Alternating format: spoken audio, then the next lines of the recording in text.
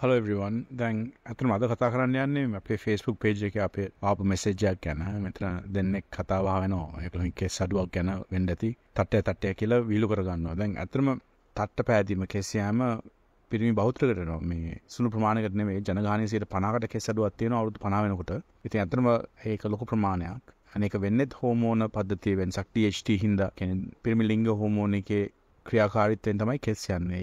ඒකත් එක්ක කාලෙත් එක්ක කෙස් වර්ධනය අඩු වෙලා කෙස් තුනී වෙලා කෙටි වෙලා නොපෙනී යනවා. ඒක තමයි ඉතින් තට්ටුරා කියන්නේ. දැන් මේ උස්ලු උස්ලු කිරීම ඉතින් උමුදෙනෙකුට දරාගෙන ඉන්න වෙනවා. නමුත් ඒකට දැන් කෙස් ටික ආයෙත් ගන්න ක්‍රියාමාර්ගයක් තියෙනවා. දේවල් දෙකක් විය යුතු එකක් කෙස් යන එක නතර කරන්න ඕන.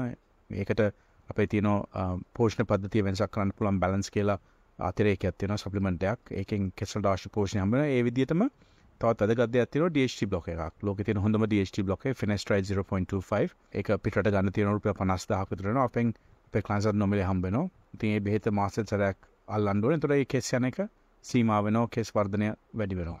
අඩු වෙච්ච කෙස් ප්‍රදේශයට අපිට හිතවන්න පුළුවන්. අපි ළඟ තියෙනවා සෆායි කියලා තාක්ෂණ ලංකාවේ සෆායි තියෙන අපි ගාව විතරයි. ඒතර ඒක තමයි තුර්කියේ කරන්නේ. ඒක තමයි ලෝකෙ තියෙන හොඳම ක්‍රියාවලිය කෙස් ගන්න. ඉතින් අපි අධික ගණකමට අපිට කෙස් ටික හිටලා දෙන්න පුළුවන්. තිබුණු විදියට තමන්ට ඕන පෙනුම ඒ තමන්ගේ රූපය ආපහු තිබුණු විදිහට ගන්න. ඒතකොට කාටවත් ආයෙත් තට්ටය කියලා විහිළු කරන්න බෑ. මොකද කෙස් හොඳට බැවිලා තිනවා. තොප්පි දාන්න අවශ්‍ය නැහැ. ඉතින් තොප්පිට සමු දෙන්න කාලෙත් හරි. ඉතින් මේ ගැන විස්තර ඕන නම් අපිට අමතන්න. අපි පුළුවන් තරම් වියදමත් එක්ක සහායක් දෙනවා.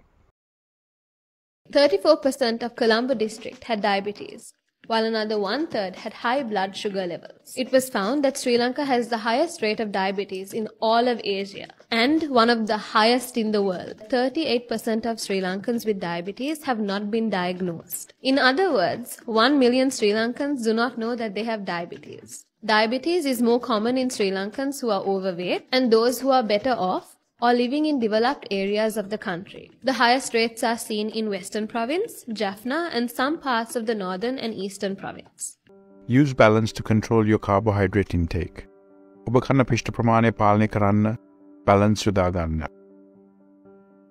ලංකාවේ ජනගහනෙන් සියයට පනාකට වැඩි ප්‍රමාණකට තිය වැඩියාව තියෙනවා. සියට පනාකට වැඩි ප්‍රමාණකට යම් කෙස්සඩුවත් තියෙනවා. එක වයසත් එක්ක වැඩි වෙනවා. මෙතන තියෙන්නේ පෝෂණ පද්ධතියේ අඩුපාඩු.